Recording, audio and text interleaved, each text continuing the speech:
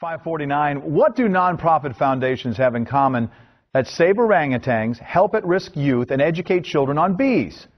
They were all started by children, and they're also the winners of this year's Barron Prize for Young Heroes. Joining us live this morning via satellite is author T.A. Barron and two winners of this year's contest, Madison Vorva and Rhiannon Tomtishen, for their project, Oranges. Orangutans really need Girl Scouts. Good morning to you all. Good morning. Good morning. First of all, uh, T.A. Barron, what makes a local hero and how do you choose the winners of this contest? Well, you know, this prize is just based on a real simple idea, Mike, and that is that every kid, no matter what background, can make a positive difference out there. Every kid can be a hero. But most kids don't believe that. Mm-hmm. And so the only way to really convey this idea is to tell stories about real young people. And I know that as a storyteller, you've got to convey an idea in a story. And the best story of all is real live young people who've made a difference in the world. So kids who apply to the Barron Prize um, or are nominated for the Barron Prize, simply on our website, barronprize.org, they are nominated, and the winners are kids from all around North America, 25 a year, who have really done amazing things to help their mm-hmm. neighborhoods their, or the wider world. Now, Madison and Rhiannon, uh, first of all, can you tell us a little bit about, now, am I pronouncing this correctly? Oranges? Orang. Orang. See, I knew Our I was getting that wrong. Began, right. Orangutans really need Girl Scouts. Uh, tell us about this project.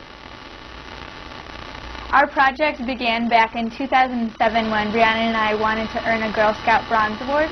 And so we began researching endangered species and we were inspired by Dr. Jane Goodall's work with the chimpanzees and so we decided to become advocates for the orangutan and we discovered that their habitat, which is the rainforest, is being cleared in Indonesia and Malaysia for palm oil plantations. And palm oil is an ingredient used in a variety of products. It's used in cookies, candies, and cosmetics. And so was Girl Scout cookie season. We realized that palm oil was an ingredient in Girl Scout cookies.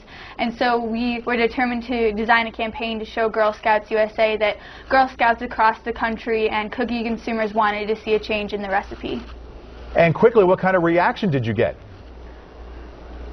We've received a really positive reaction from Girl Scouts themselves and from Girl Scout cookie consumers. Unfortunately, we haven't um, we haven't achieved success in that palm oil hasn't been removed from the cookies yet, but we're working to make that happen. Yeah, you keep pressing on. Also, uh, T.A. Barron, uh, can you tell us how other people can get involved, our viewers, to nominate kids in our own local community? Yes, all you need to do is go to the barronprize.org website. That's B-A-R-R-O-N prize.org, barronprize.org, and click on Nominate. And you'll see all the information you need. And if you want to have your hope renewed about the world and read about these amazing kids, just click on Meet the Winners when you go to the Barron Prize website. All right. Thank you very much, all of you, for joining us this morning, and best of luck. Thank, Thank you. you. Thanks.